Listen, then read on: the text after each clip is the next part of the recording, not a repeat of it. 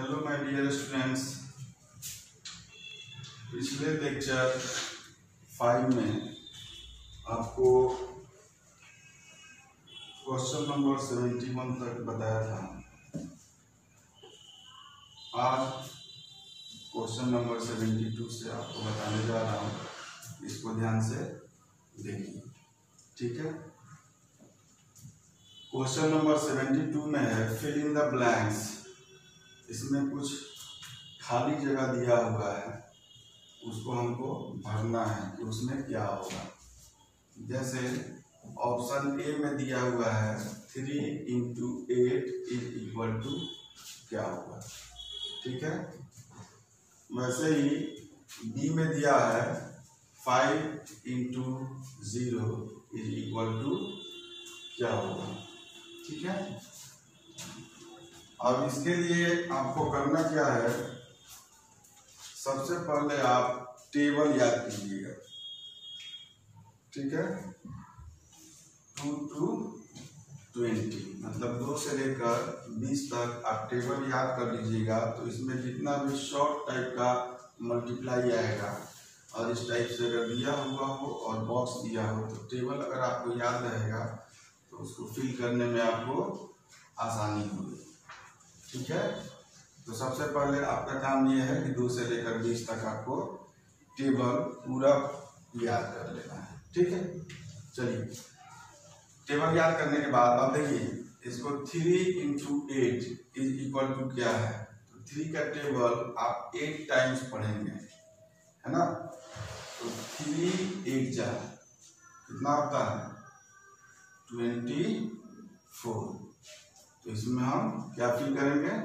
Twenty four वैसे ही यहाँ पर है फाइव इंटू ज़ीरो ज़ीरो में आप कितने भी डिजिट से अगर मल्टीप्लाई करते हैं तो वो आपका क्या होता है? ज़ीरो होता है। वैसे ही इसमें और भी बहुत सारा टाइप दे सकता है तो उसको आप टेबल याद कीजिएगा और उसको फिल कीजिएगा। ठीक है? चलिए। Question number seventy four, question number seventy four में जो है, क्या पूछ रहा है? How many days are there in eight weeks मतलब आठ सप्ताह में कितने दिन होते हैं? आप लोग पिछले क्लास में इसको पढ़े होंगे। यहाँ पर रिवीजन के तौर पर मैं आपको जैसे चैप्टर ही रिवीजन है फ़र्स्ट चैप्टर उसमें आपको मैं सिर्फ़ रिवीजन के तौर पे बता देता हूँ। आपको कुछ याद होगा ही। आठ सप्ताह में एट वीक्स में कितना दिन होता है? ठीक है? अगर मैं चाहूँ तो आपको ऐसे ही आपको टोटल नंबर ऑफ़ डे इसको अगर बता दूँ तो उतना आप याद कर सकते हैं। ठीक है? लेकिन अगर आपको याद नहीं हो तो इसको बनाने का प्रोसेस भी मैं आपको बता देता हूँ। क्योंकि अगर एट वीक्स है टू वीक्स आए फाइव वीक्स आए सेवन वीक्स आए या जितना भी आए उसको बनाना कैसे है?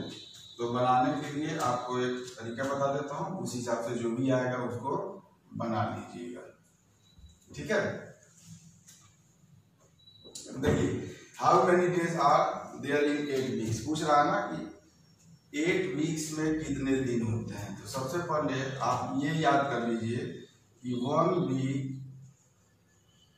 is equal to seven days मतलब एक वीक में कितना दिन होता है? सात दिन होता है। ठीक है? अब इसमें से आपको जितना भी वीक अगर पूछता है, जैसे इसमें क्या पूछ रहा है? एट वीक्स पूछ रहा है ना?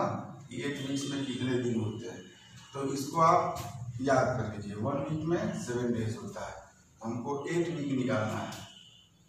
तो इसको हम लिखेंगे eight week equal to seven into eight is equal to fifty six days मतलब जितना वीक पूछता हो, उतने वीक में इतने दिन से मल्टीप्लाई कर देंगे, आ जाएगा।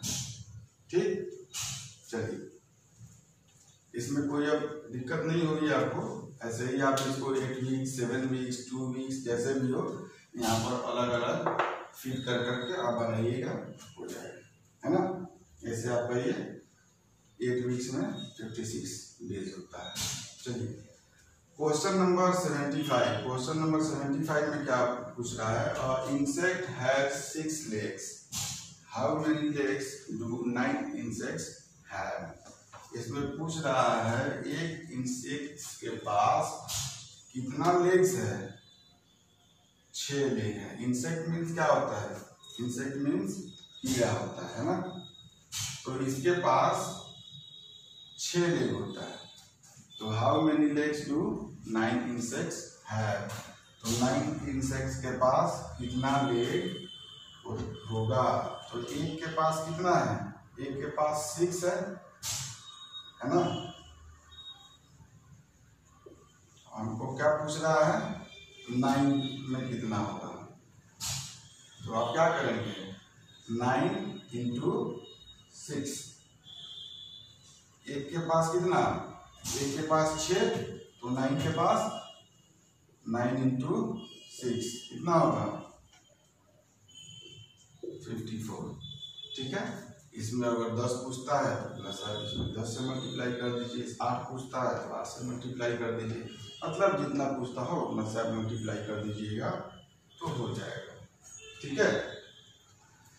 Question number seventy six question number seventy six में क्या है? पूछ रहा है Mansi is seven years old her brother is twice as old as she is तो how old is her brother मतलब मानसी का उम्र जो है, कितना है?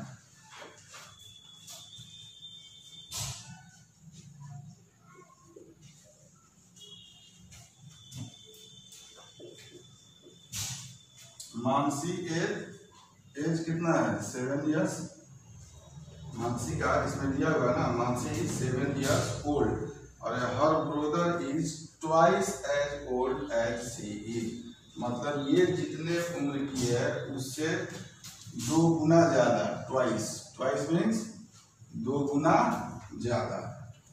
उसके भाई का उम्र है। तो क्या करेंगे?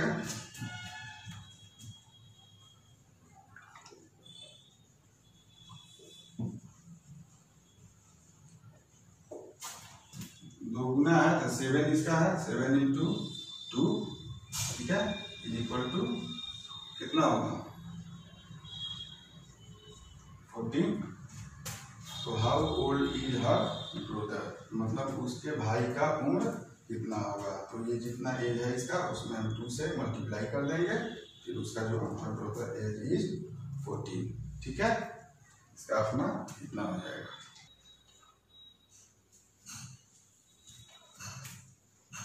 चलिए, क्वेश्चन नंबर सेवेंटी सिक्स तक आपको बता दिया था। ठीक है? अब क्वेश्चन नंबर सेवेंटी सेवन में आइए। इसमें क्या लिखा हुआ है?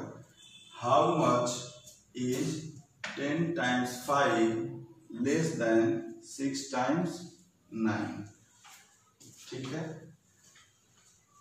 तो ये टेन टाइम्स फाइव जो है less than six times nine है ना? यानी कि इससे ये लेस देन है, यानी कि छोटा है तो सिक्स टाइम्स नाइन मतलब क्या होता है? सिक्स इंटू नाइन और टेन टाइम्स फाइव मीन्स क्या? Ten times five into ten into five इनके जितना भी टाइम्स जो भी दिया हुआ हो, उतना मल्टीप्लाई होता है, ठीक है? लेकिन ये टेन टाइम्स फाइव जो है, ये टेन टाइम्स फाइव जो है, ये सिक्स टाइम्स नाइन से छोटा है है ना? तो वो कौन सा नंबर होगा? ये पूछ रहा है ना? तो देखिए तो सिक्स टाइम्स नाइन यानी कि six into nine minus ten times five यानी कि टेन इंटू फाइव जब इसको करेंगे तो सिक्स नाइन का कितना आता है? फिफ्टी फोर और टेन फाइव का फिफ्टी तो fifty four minus fifty is equal to four तो ये आपका आंसर इसका फोर हो जाएगा। ठीक है? चलिए। क्वेश्चन नंबर सेवेंटी एट जो है same question number seventy five की तरह है। है ना? सेवेंटी फाइव में दिया था ना कि एक इंसेक्ट के पास छह लेग होता है तो नौ इंसेक्ट के पास कितना लेग होगा? Same type question number seventy seven भी है। इसको भी आपको मल्टीप्लाई ही करना है। तो उसको आप सेम वैसे ही मल्टीप्लाई कर लेंगे। चलिए question number seventy nine question number seventy nine और क्वेश्चन नंबर एटी ये दोनों आप ध्यान से देख लीजिए। क्या लिखा हुआ है? Write two division facts for each of the following multiplication facts option A में है six into seven is equal to forty two और बी में है five into four is equal to twenty ये मल्टीप्लीकेशन फैक्ट है तो इसको हमको किसमें बदलना है? डिवीज़न फैक्ट में बदलना है। ठीक है? तो इसमें दो टाइप आता है मल्टीप्लीकेशन फैक्ट में दिया हो तो डिवीज़न में, और डिवीज़न दिया हो तो मल्टीप्लीकेशन में। तो वही सेम क्वेश्चन आपको सेवेंटी नाइन और क्वेश्चन नंबर एट्टी दो पैटर्न है, दो क्वेश्चन आपको इसको मैं बना दिया हूँ उस हिसाब से आपको बता देता हूँ, ठीक है? तो इसमें क्या है, ये मल्टीप्लीकेशन फैक्ट में दिया हुआ है और इसको हमको डिवीज़न फैक्ट में बनाना है। कितना? Two division fact for each of the following multiplication fact इसको टू डिजिट में बनाना है। तो चलिए six into seven is equal to forty two ये आपके ऑप्शन में इतना दिया हुआ है। अब इसी को हमको दो में बनाना है। तो चलिए तो six into seven equal to कितना होता है? टेबल याद होगा ना? तो सिक्स सेवन जा फोर्टी टू और इसको डिवीज़न फैक्ट में बनाने के लिए ये जो रिज़ल्ट जो भी आया है फोर्टी टू उसमें हम एक बार इससे डिवीज़न करेंगे और एक बार इससे डिवीज़न करेंगे। ठीक है? मतलब एक बार सिक्स से और एक बार सेवन से। तो forty two divided by six is equal to कितना होगा? सेवन हो जाएगा। है ना? और वैसे ही forty two divided by seven is equal to कितना होगा? सिक्स हो जाएगा। यानी कि इस रिज़ल्ट में एक बार इससे और एक बार इससे क्या करेंगे हम? डिवाइड करेंगे। वैसे ही ऑप्शन नंबर बी में है five into four is equal to twenty तो इसमें क्या करेंगे? पहले ये जो रिज़ल्ट दिया हुआ है, इसमें एक बार हम इससे और एक बार इससे, यानी एक बार फोर से और एक बार फाइव से डिवाइड करेंगे। ये twenty divided by five is equal to four and twenty divided by four is equal to five तो ये आपको दो बार बनाना तो ये हो गया। ये हो गया। वैसे ही इसमें एक आपका ये हो गया और एक ये हो गया। ठीक है? अब क्वेश्चन नंबर एटी देखिए, इसमें write the multiplication fact for each of the following division facts अब इसको सेम वही चीज़ है। यहाँ पर क्या था? मल्टीप्लीकेशन फॉर्म में दिया हुआ था तो डिवीज़न में किया। यहाँ पर डिवीज़न में दिया हुआ था इसको मल्टीप्लीकेशन में करना है, ठीक है? तो इसको यहाँ पर क्या है? ये दिया है ना ten divided by five is equal to two तो अब हम इसमें क्या करेंगे? Five into two is equal to ten और वैसे ही two into five is equal to ten वैसे ही प्रोसेस सेम है, इसको एक बार आप समझ लीजिए और वैसे ही इसको बनाइए। बाकी ऑप्शन भी दिया हुआ है, उसको आप बनाइए। कहीं से कोई परेशानी आपको नहीं होगी। फिर नेक्स्ट लेक्चर में जो क्वेश्चन होगा उसको बताया जाएगा।